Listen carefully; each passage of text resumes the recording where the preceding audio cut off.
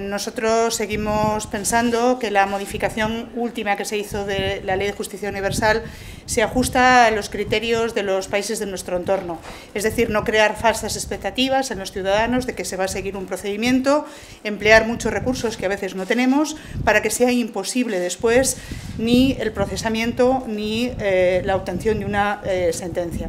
Ese fue el objetivo, eh, delimitarlo y delimitarlo en el ámbito de los países de nuestro entorno, puesto que es una ley que pasa, eh, tras, eh, va más allá del principio de territorialidad.